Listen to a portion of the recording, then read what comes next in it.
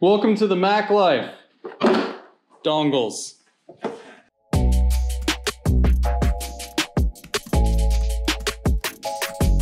Hey, what's up guys? First of all, I just wanted to thank everybody who watched my last video. I was not expecting to get anywhere near that much uh, attention or positive feedback. Um, so thank you greatly. Um, a bunch of people actually watched that and then asked for some side-by-side performance testing. Essentially, what we did was we took apart the bottom of the 2020 MacBook Air and then we used a thermal pad to connect the CPU heatsink to the chassis itself to try and increase some of that thermal overhead and get a little bit more performance. Um, so what we're going to do today, we're going to hop into a screen recording session on the laptop itself. I'm going to run Cinebench R20, maybe a couple of other tests, see how the thermals perform. We'll take the computer apart, we'll take that thermal pad out, and then we'll repeat the tests. So without further ado, let's get started. All right, guys, so we've got Cinebench R20 pulled up. Uh, we're just going to do a quick test run with the thermal pad in. I waited for everything to just about regulate. Temperatures were idling around 50. Um, you can see they, they spiked up a little bit once I started the screen recorder, but I don't think it's going to be too bad. Looks like it's normalizing around 53 degrees. I'd, I'd call that good and flat. Jesus, maybe it's not. 55. Well, you know what? Let's just fucking send it.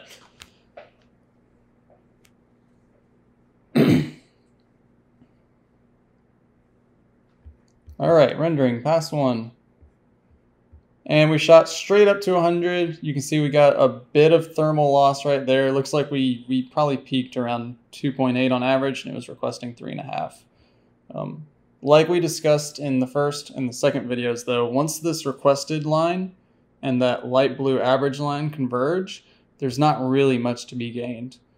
Um, if somebody could figure out how Intel and Apple managed to actually slow these things down or come up with that requested curve, then yeah, you you definitely be leaving performance on the table with just the thermal pad. But um, until that happens, there's not much to be done.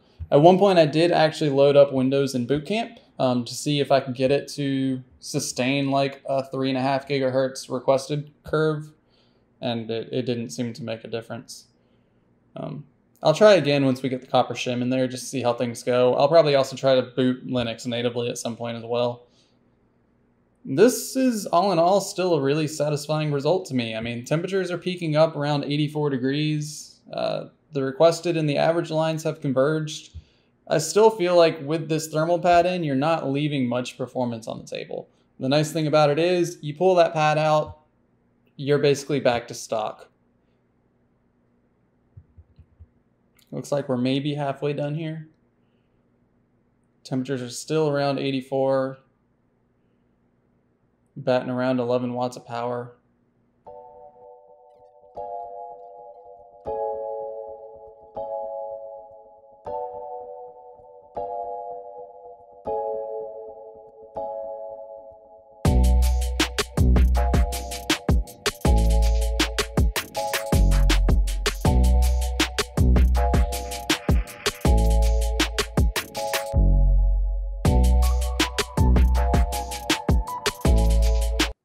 Why don't terminal like it recognizes terminal commands and then just like oh.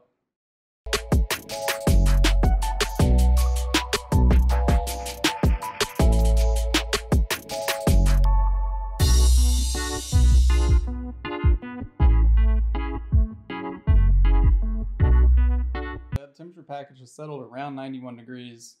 Um, once our, our requested frequency right here converged with our average frequency. Like there, there was nothing to be gained there. Another really important thing to point out, like we are running a genuine stress test. Core utilization is above 98%, and there's no noise coming from this thing whatsoever. None. I mean, it's a nice hand warmer. It's not uncomfortable by any stretch of the imagination. I actually quite like the fact that it warms up because I have cold hands. The uh, the 16 inch Pro does the exact same thing, but like, this is this is kind of astounding. Yeah, I'm just, I'm, it makes me sad that Apple didn't do a better job because it could be phenomenal. Looks like we're almost done. So close. We ended up with a 603. That's an outlier. it's got to be the screen recording software. Yeah, so it, what we'll definitely do uh, without we'll do another pass of this without the screen recording running, uh, just to see what our score comes out to, and we'll watch our temperatures and we'll see what those come out to when we're not doing a screen capture at the same time, and we'll include those data points as well. Yeah. All right, let's go ahead and jump into that. Sorry for uh sorry you guys can't see it if nothing else. All right, guys, so fun fact, don't forget to push down those tabs in the middle like I did, or you're gonna get really confused when the screw holes don't line up. But nonetheless, we're back to a stock MacBook Air. Let's fire up some benchmarks and see how it goes. Yeah, so I wasn't planning on recording this segment. I just I just wanted to point out. You know what? You know what? Let's let's get a screen recording going so that y'all can actually see this. Look at this. Look at we're not doing anything, and it's at 85 degrees. Now it's at 80 degrees. This is crazy, man. I don't know what's hitting the GPU so hard, honestly. Like nothing should be running. Anyway, I just I found this hilarious. We're gonna wait until it, it nor- normalizes out and you know, idles at whatever it idles at. It might only get down to like 55. I don't know. I guess Yeah. we'll see. Then, then we'll see what it thinks of Cinebench. plug it back in and leave it for a bit. Uh, we'll be we'll be back. Yay! Apple things. It's why why did you do this? It had to get it had so much potential. It's it's getting up to 90. It's pretty hot.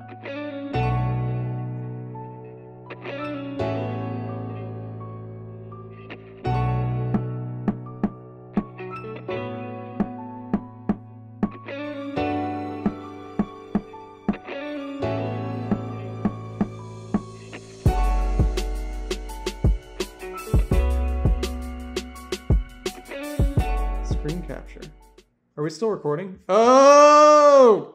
What? It's the screen capture running it up that much? Holy sh!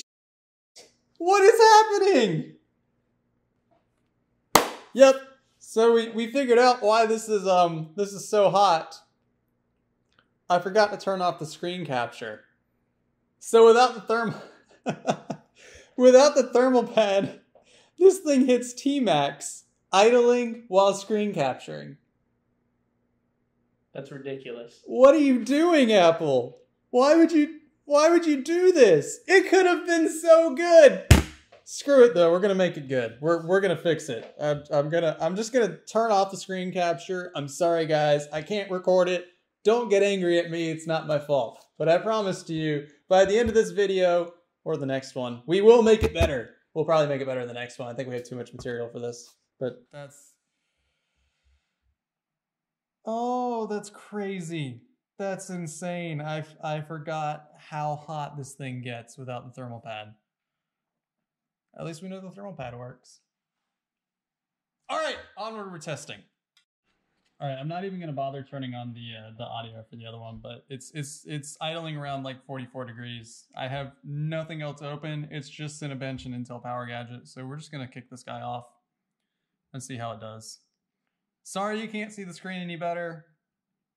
Don't get mad at me. It's not my fault. It's Apple. But I will give you a couple of seconds of commentary at least.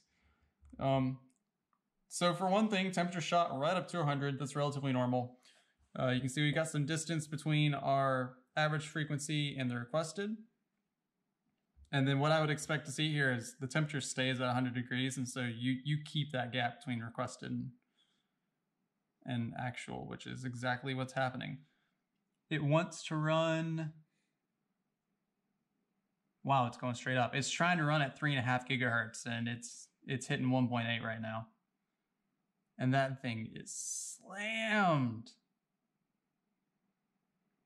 Oh my god. All right, I, I feel like this is gonna take a while as is, so we'll we'll run it three times.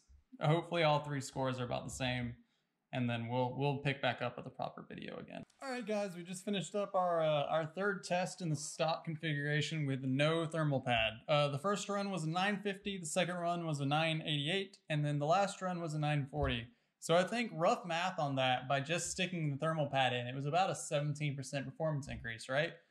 Um, additionally, like we've we've been saying all along, or at least I have, this requested curve will eventually merge with the average clock speed curve with the thermal pad, which means you're really not leaving much more performance on the table with that. I mean, uh, without the thermal pad, this thing was pegged at you know 99.8 degrees. With the thermal pad, it was it was floating around 98, so it wasn't actually thermal throttling. It just it wasn't allowing itself to go faster. Um, but that's it. You know, if you've got some ambition on your hands and 12 bucks, you've got nothing to lose. I mean, if, if you don't like it or you start having issues, just take it out and you know, I, I, I can't I can't tell you what to do, but I will say I don't think you'll have any issues. Um, and twelve dollars for a seventeen percent performance increase is, is astounding. Um, it really does change the laptop overall. It's a much nicer experience. I would not hesitate to recommend this laptop to anybody who's not looking to do like professional sustained workloads as long as they're willing to do that thermal pad. But uh, I'm a bit of a perfectionist, so stick around, subscribe, I guess, if you haven't. Um, I'm to stick this guy in with this stuff in the next video, and we're to see just how far we can take the performance. Thanks, guys. That's all I got for you. Like and subscribe, or don't. It's whatever. But thanks.